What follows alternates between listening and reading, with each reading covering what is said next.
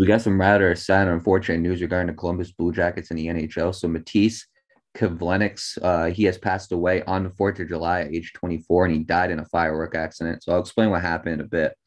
So police in Novi, Michigan, they said Monday that Kivlenieks, he ended up dying after hitting his head following a 4th of July accident. What happened was, according to Lieutenant Jason Meyer of Novi Police Department, he said a mortar style firework uh, tilted slightly and started firing towards people nearby. And Kivlenieks was in a hot tub and he fled along with several others. But when he was trying to flee, he slipped and he hit his head on the concrete. And the fire department and EMTs got uh, to the private home about 10:13 on Sunday night and took him to a local hospital where he was pronounced dead, according to Jason Meyer. And autopsy is scheduled for Monday. I do have a quote right here from Meyer. He said, and I quote, at the moment, we're pretty certain this was a tragic accident. And I do have a quote also by John Davidson, the uh, president of hockey operations for the Columbus Blue Jackets. He said, and I quote, we are shocked and saddened by the loss of Matiss uh, and we extend our deepest sympathies to his mother, Astrida, his family, and friends during this devastating time. Uh, Kiwi was an outstanding young man who greeted every day and everyone with a smile, and the impact he had during his four years with our organization will not be forgotten. And a little bit on uh, Kivlenieks, uh, hit on his NHL career. He started two games for the Columbus Blue Jackets last season and recently played for Latvia at the IIHF World Championships. He played in eight total games in his NHL career and was expected to compete for more playing time next season. And one notable win that he had was his first career uh, win against New York Rangers. That was a notable one for him. He won. They won two to one that game. And I do have a quote here from uh, Nick Foligno, the captain of the Colum- or former captain, excuse me, of the Columbus Blue Jackets. He said, and I quote, "One thing I loved and appreciated about him was he had a great smile and always was in a good mood. I know, I know it's cliche, but that's exactly the kind of guy he was, just enjoying his life at a, as a 24 year old, living out his dream. And you could tell he didn't take one day for granted. It makes this tragedy even more hard to hear, praying for his family and all of us who knew him. Hard day for a lot of people in that organization. And uh, NHL Commissioner Gary Bettman, he issued a statement on the death of uh, He said, and I quote, on behalf of the NHL family, we extend our deepest sympathies to his family, friends, and teammates in both the Columbus Blue Jackets organization and his native country of Latvia. His love for life and passion for the game will be deeply missed by all those who have been fortunate to have him as a teammate and a friend. And last but not least, Nate, one more quote from uh, Jarmo uh, Kekalainen. He said, and I quote in a tweet, actually, life is so precious and can be so fragile. Hug your loved ones today uh, RIP Matiss, you will be dearly missed. And yeah, Nate, um, and last but not least, uh, Kivlenieks, he was an undrafted, uh, he was undrafted. He was signed by the Columbus Blue Jackets as a free agent in 2017. He made his NHL de- debut in Madison Square Garden on January 19, 2020, stopping the uh, 31 out of 32 shots to beat the New York Rangers 2 to 1. Excuse me. And uh, last week, Kivlenieks and fellow uh, Columbus goaltender Elvis Merzlikins, they made an appearance at the Mid Ohio, Mid Ohio Sports Car Course for a ride along event. And Kivlenieks was uh, spending the summer in the United States and was there at the time of his death. So, you know what, Nate? Uh, allow me to start off first, considering the fact that he was a, a player of the Columbus Blue Jackets. Before I do, I just want to take a moment of silence.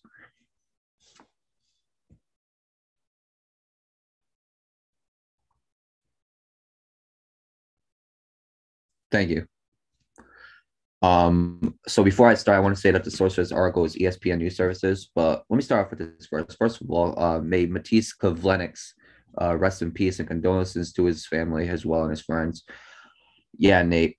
Um, see, this is. I'm going to be honest with you.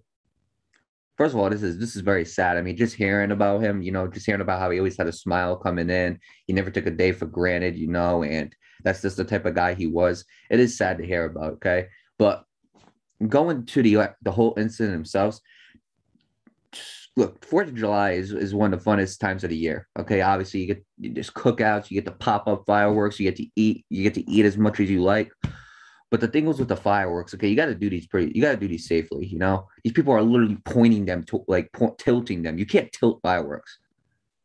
Seriously, if you tilt fireworks, they're gonna go in that direction and and and I don't understand. I don't understand it. You got to be very very careful when it comes to fireworks. And because they weren't, it was firing towards people, not just uh, Kivlenieks, but other people they were at risk. You know, other people were at risk that day, and Kivlenieks was ended up getting fireworks shot at him in the hot tub, so he ended up trying to again trying to flee, flee the hot tub, and he ended up hitting his head. So people got to be very, very careful with fireworks. Okay, they said it's a tragic accident. Obviously, I don't think somebody meant to point fireworks at him, shoot him towards him. You know, I don't think that was the whole goal. But overall, these people got to be more careful. You know, you're tilting fireworks and you're shooting them, and you're shooting them literally where the wherever the firework is is is pointed, that's where it's going to go. If it's pointed up, it's going to go up. If it's tilted, it's going to go wherever it's tilted. You know, you got to be very, very careful with fireworks because if handled wrong, it could be very, very dangerous. Exhibit A right here. You know, and because of it, people, uh, because of it, a mother lost her son. You know, uh, relatives lost another relative.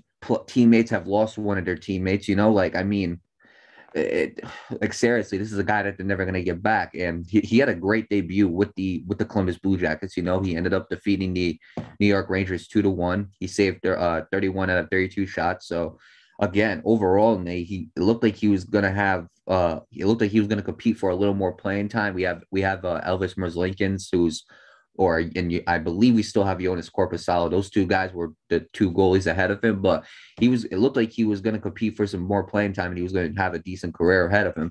But because people want to be careless and just shoot off fireworks and shoot and tilt them, now again that's not going to happen. You know, uh, he's only 24 years old, which makes it so tragic. The fact that he's so young and he had his whole NHL career ahead of, ahead of him, and the fact that this is the way because of because of mishandled fireworks. Again, it's again people got to be more careful, Nate. You know and this is and again the last firework incident that I could recall, Nate, was the one with uh, Jason Pierre-Paul where he kind of blew up his hand. But this is what I'm talking about. You got to be more careful with fireworks. People are not careful with them now these days, Nate. You know, if you're gonna use fireworks, make sure they're tilting up into the air, and that's where the fireworks go. Not tilted to the point where it can go towards people. I don't know why you would tilt fireworks. I really don't. You know, people got to be more careful. Nate. It's just as simple as that. But overall, Nate, I don't want to focus too much on that. To uh Matiss Kivlenieks, um, family, friends, loved ones, uh, you know, condolences to them. You know, may he rest in peace again. He looked like he had a good NHL career ahead of him, but because of what happened, it's got to be cut short, sadly, you know. Um, but with that being said, Nate, that's the best way I can end this off of. But Another thing, if you're going to use fireworks, Fourth of July, or any occasion, make sure you're safe with them. Okay, don't tilt them to the point where it could go somewhere and hurt someone. Make sure they're up in the air, and that's where they are. Simple as that. Okay, we want to watch the fireworks up in the air, not forward. You know, not tilted, not looking this way, up. Simple as that. So, with that being said, may Matiss Kivlenieks rest in peace. Uh, condolences to his friends and family, teammates, loved ones. And as a Columbus Blue Jackets fan, thank you for everything you have done for us. Yeah, this is very tragic. Tragic, you know. May Matiss Kivlenieks rest in peace. Condolences to his family. Let me explain something to you, okay, Mario? When you're using fireworks, you need to make sure those things are secured.